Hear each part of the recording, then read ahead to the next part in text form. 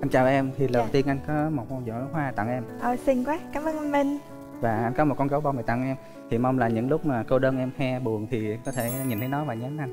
À, Cảm ơn anh. À, Cũng rất là trùng hợp cái món quà hôm nay em chuẩn bị nó cũng liên quan đến gấu. Anh có thấy mắt em bị thâm không?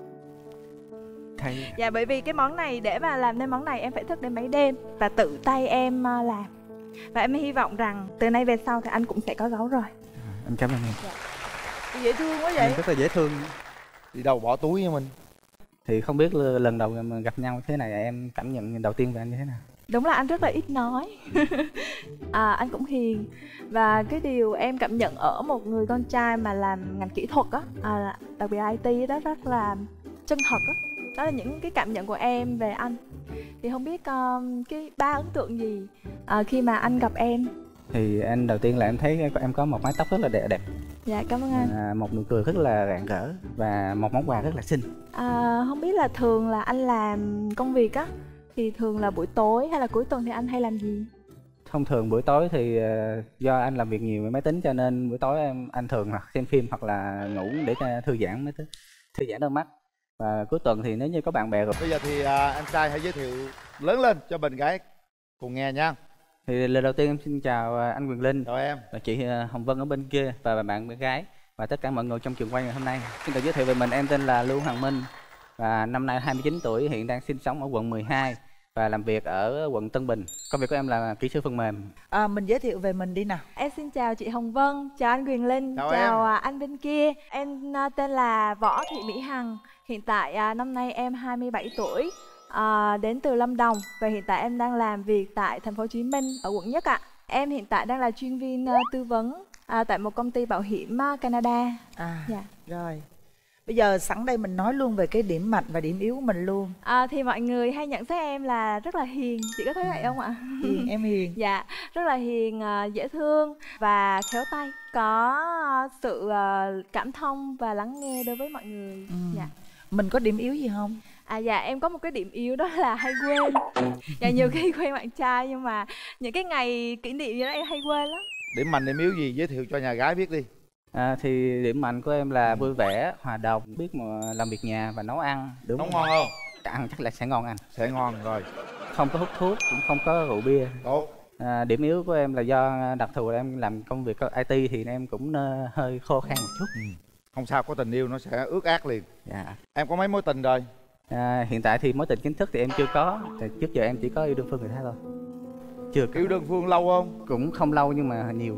Nhiều nhiều đơn phương luôn hả? Dạ đúng là lý do tại sao em cứ yêu đơn phương em không dám nói là sao? À, không em cũng có tỏ tình hai lần nhưng mà cũng thất bại. Người nào nỡ lòng nào trả lời để thất bại vậy ta?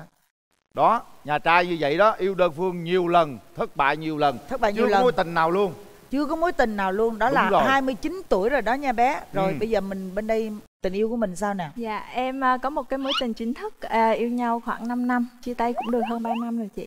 lý do chia tay Tại vì à, hai tụi em thì mỗi người một cái hướng đi. À, bạn trai em thì muốn về quê lập nghiệp, còn em thì em muốn ở đây. ừ. Thì đó là chính là lý do tụi em À, chấm bất đồng quan điểm đó Dạ. ha thôi để em mới em hỏi đi kìa chào em gái Dạ chào dễ anh thương Linh. bây giờ em muốn tìm một mối tình mới nửa mảnh ghép dành cho cuộc đời của em như thế nào Mẫu bạn trai của em thì cao hơn em. Tại hiện tại là em mét Em một 65 mét bảy. rồi. sáu hả Thì rồi đây em muốn sáu sáu trở lên được em muốn ờ, một bạn cao khoảng hơn ờ, mét bảy đó và thân hình rất là khỏe khoắn tại vì em rất là thích chơi thể thao ừ. dạ à, và bạn ấy thì um, chân thành biết chia sẻ và đồng hành cùng em trong công việc lẫn cuộc sống bây giờ em nghe em gái nói vậy em được bao nhiêu phần trăm em trai khoan để tôi qua tôi em nghĩ chắc cũng được khoảng 60 70 sáu mươi bảy mươi hả? Chứ anh nghĩ 90 đó. Dạ em chào chị Hình Vân. Ừ. cái hình mẫu lý tưởng của em về người bạn gái là là như thế nào? Dạ, hình mẫu lý tưởng của em thì em mong muốn người bạn gái mình cao trên một mét năm mươi. Yên tâm đây nãy mới nói mét Dạ. sáu lăm rồi dư luôn dư luôn. Dạ, tóc dài. Dài luôn có dài luôn. Dạ, hoạt bát và năng động có luôn hoạt bát năng động luôn. Và điều quan trọng nhất em mong muốn đó là người bạn gái đấy sẽ- nói nhiều hơn em một tí tại vì em cũng hết hết. Em có nói nhiều không? Em nói từ lúc chị em sai lầm rồi đó. Có nhiều người đàn ông cũng vậy đó. Ước gì bạn gái mình nói nhiều hơn mình tới chừng về nói nhiều rồi mệt mỏi lắm em ơi. Không nhưng mà nói nhiều cho vậy cho nhà cửa cho nó vui cũng được. Không có vui đâu em ơi cưng mình đi với ai cưng Dạ, hôm nay em đi đến với em trai, với chị sếp và các đồng nghiệp của em. rồi Em ờ, chào chị Hồng Vân, chào anh Quyền Linh Chào em và chào tất cả các ờ, anh chị ở trên ờ, khán phòng này cũng như tất cả các anh chị xem đài. Thì ờ, may mắn ngày hôm nay bạn ờ, Hằng đến đây và có chia sẻ là chị sẽ trao đổi một tí với Minh nha. Ừ. Thì Minh nhìn rất là hiền, dễ thương. Em của chị cũng được cái hiền lắm, nói nhiều một chút thôi. Vậy thì bây giờ chị hỏi Minh một câu, à, khi mà lập gia đình với nhau á, thì em muốn à, hai bạn à, sống ở ngoài hay là sống chung với gia đình À, điều này thì em cũng nghĩ rồi và em sẽ quyết định là tôn trọng của- quyết định của bạn gái. Nếu như bạn gái là con một của gia đình và muốn ở cái gần chăm sóc với cha mẹ của mình thì em cũng có thể qua ở rể. Và nếu như cô ấy không ngại làm dâu thì uh, có thể qua bên nhà em cùng sống ừ, rồi chị cảm ơn minh. Vậy thì theo em là một bạn nữ làm ở công việc ờ, ngành ngoại giao như vậy thì bạn đi rất là nhiều và bạn gặp ờ, tương đối cũng khá nhiều khách hàng một ngày. Vậy thì điều đó có làm cho em ngại không? Thì em cũng ờ, không nghĩ là sẽ ngại. Nếu như mà tình cảm mà đủ tin, tin tưởng lẫn nhau thì cái điều đó không quan trọng. chị thêm câu nữa nha. Dạ. minh rất là dễ thương thật ra hỏi để cười xem có gì nói cho đứa em á mà. Theo minh á một mẫu bạn gái không biết nấu ăn thì đối với em nó có khó khăn gì không Ừ, cũng không khó khăn nếu như không biết nấu thì em có thể nấu và Ừ, sau này cũng thể chỉ hả? chỉ có thể chỉ cho bạn ấy biết nấu được vài món cơ bản cũng được. à chị Dạ. nhưng mà em có nấu luôn được không Được luôn chị. được luôn Dạ. rồi thôi chị hỏi tới đây chị nghĩ chắc đủ rồi dạ em cảm ơn chị rồi Đấy. em à, minh đi với ai Dạ em đi với mẹ và các bạn đồng nghiệp. Chào à, Văn và chào chú à, Quyền Linh. Thì chị đây là mẹ của Lưu Hoàng Minh. Cô thấy sao cô? Thì à, cô thấy cô này cũng dễ thương cũng thấy cũng vui vẻ. Thì cô ok rồi gặp Minh nó được là cô được à. Đại diện đồng nghiệp của minh nói một câu gì đi? Dạ con chào cô Hồng Vân, con chào chú Quyền Linh, à, chào chị, chào anh đàn gái và chào tất cả mọi người trong khán phòng ngày hôm nay. Dạ con tên là Ngọc, là đồng nghiệp của anh Minh, à, làm chung công ty. Thì nhận xét của con về anh Minh á, là anh Minh rất là hiền lành và dễ tính, người cực kỳ dễ tính luôn, rất biết thông cảm cho người khác. Có thể là anh Minh không phải là người về, giỏi về ngoại hình, không giỏi về ăn nói nhưng mà anh Minh rất là chân thật và um, chị nghe em hỏi thật sự là chị hỏi chị là lúc mà anh Minh nói về những cái mối tình mà anh Minh không uh, tỏ tình không thành công thì chị nghĩ như thế nào ạ? Cái điều đó nó cũng rất là bình thường thôi. À, tại vì đối với à, với đối với hằng á thì khi mà hằng bước trong một mối quan hệ hằng cũng quan trọng cái người rất là người ta chân thành hằng cũng rất là quý trọng điều đó tại vì trước đây khi mà hằng quen những cái mối mối tình của hằng á thì hằng chỉ biết một người đó thôi ủa rồi chị ờ, cô muốn hỏi chút xíu đây vậy sao trong ờ, công ty của minh có nhiều đồng nghiệp nữ vậy mà sao mình không cua được ai vậy Dạ, cưng? đây ờ, thật ra mà tụi con với anh Minh giống như là một anh cả và những người em. Rồi tụi con quý anh Minh như là anh hai vậy đó. Tại vì anh Minh cũng lớn tuổi hơn tụi con cũng ờ, một khoảng đó. Cho nên với lại ờ, nguyên một dàn đi theo là mong muốn có chị dâu lắm. à vậy đó hả Dạ. Chị bên này rất là xinh nha anh Minh và chị rất là khéo ăn nói và hy vọng ờ, không phải chuyện ngoại hình thì chị hãy lắng động một chút xíu và những cái gì em mới chia sẻ thật sự là anh Minh rất là người để- người để chị có thể tin tưởng sau này. Nhìn rồi bên mở rào đi ông ông mối ơi rồi mở em cảm thấy gánh nặng quá chị ráng lên minh Dạ. tấn công minh quá trời quà cáp kìa trời ơi bên nhà gái tôi tôi nhận phụ nè Anh chào em, thì đầu Dạ. tiên anh có một con giỏ hoa tặng em Ờ, xinh quá cảm ơn anh minh và anh có một con gấu bông để tặng em. Thì mong là những lúc mà cô đơn em he buồn thì có thể nhìn thấy nó và nhắn anh. À, cảm ơn anh. À, cũng rất là trùng hợp cái món quà hôm nay em chuẩn bị nó cũng liên quan đến gấu. Anh có thấy mắt em bị thâm không? Thấy Dạ bởi vì cái món này để mà làm nên món này em phải thức đến mấy đêm và tự tay em à, làm. Và em hy vọng rằng từ nay về sau thì anh cũng sẽ có gấu rồi. anh cảm ơn em. dễ thương quá vậy Rất là dễ thương. đi đâu bỏ túi với mình Thì không biết lần đầu gặp nhau thế này em cảm nhận đầu tiên về anh như thế nào? Đúng là anh rất là ít nói. à, anh cũng hiền và cái điều em cảm nhận ở một người con trai mà làm ngành kỹ thuật á, à, đặc biệt IT đó rất là chân thật á. Đó là những cái cảm nhận của em về anh. Thì không biết um, cái ba ấn tượng gì à, khi mà anh gặp em thì anh đầu tiên là em thấy em có một mái tóc rất là đẹp đẹp dạ cảm ơn anh à, một nụ cười rất là rạng rỡ và một món quà rất là xinh à, không biết là thường là anh làm công việc á thì thường là buổi tối hay là cuối tuần thì anh hay làm gì? Thông thường buổi tối thì ờ, do anh làm việc nhiều với máy tính cho nên buổi tối em anh thường hoặc xem phim hoặc là ngủ để cho thư giãn máy tính thư giãn đôi mắt. Và cuối tuần thì nếu như có bạn bè rủ thì anh mới đi cà phê còn không thì anh cũng ở nhà là nhiều. À, anh anh bên có sở thích gì đặc biệt không ạ? Thích xem ờ, xem xem các môn thể thao như xem đá banh hoặc là xem tennis mà anh chỉ thích xem chứ anh cũng không thích uh, chơi. Anh có thích chơi thể thao không? Thể thao thì anh chơi cũng không nhiều lắm. Anh cũng biết chơi bowling. Môn đó em cũng thích đó vậy thì hy vọng là sẽ có một ngày mình ờ, một ngày sớm nhất mình sẽ đi, đi chơi cùng nhau. Dạ em cũng hy vọng vậy. Anh có câu hỏi gì cho em không? À,